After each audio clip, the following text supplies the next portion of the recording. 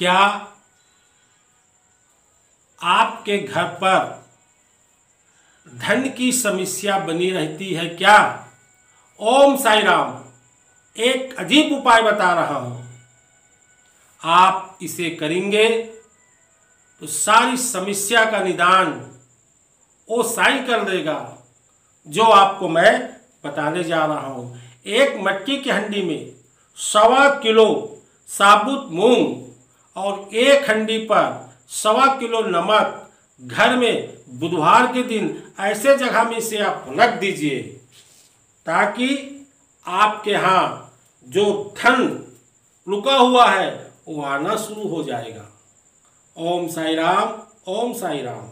अगर आपके यहाँ, आपके कारोबार में धन लाभ की स्थिति बन रही है धन लाभ की स्थिति बन रही है। और उस स्थिति पर धन आपको प्राप्त नहीं हो रहा है। तो साई राम एक ऐसा उपाय आपको बता रहा हूँ कि आप इस उपाय को करेंगे तो निश्चित वो स्थिति भी बन जाएगी और धन आपको प्राप्त हो जाएगा। आप गोपी चंदन को नौ डालियों में लेकर केले के वृक्ष में पीले धागे से टांग दीजिए। और उसके बाद आप ऐसा चमत्कार देखेंगे आप कि कैसा धन आपके पास नहीं आता है। ये अजूबा उपाय, बहुत चमत्कारी उपाय है। इसको साई का ही चमत्कार समझिए और इसको करिए आप।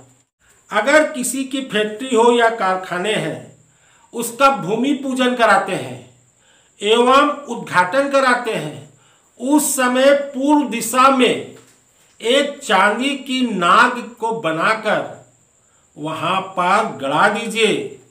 आप देखिए, इतना भयानक आपका फैक्ट्री का धंधा चमकेगा। ये साई का चमत्कार समझेंगे आप। आप इस उपाय को ज़रूर करिए। फैक्ट्री कार में, निर्माण कार्य की प्रगति के लिए, अगर आपके फैक्ट्री कार में निर्माण कार्य की प्रगति के लिए प्रोग्रेस करना है तो पुष्पा नक्षत्र के दिन, जहाँ आपकी ऑफ़िस है, वहाँ पर एक अनार का पौधा रोपण कर दीजिए।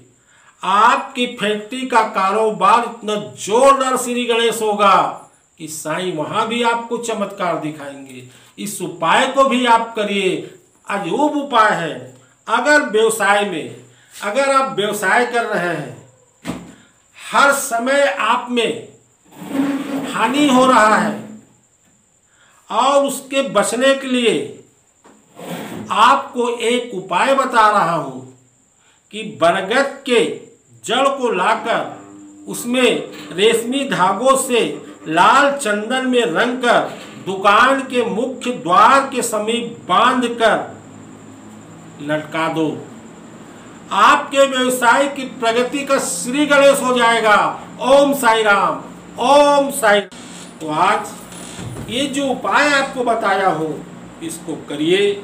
और श्री साई बाबा सेवा आश्रम में श्री साई जीवन माला का जो लाइफ है, इसको ज़्यादा से ज़्यादा भक्तों को आप शेयर करिए ताकि ये आश्रम भव्य धाम बन के आपके सब सहयोग का एक प्रतीक बने। ओम साई राम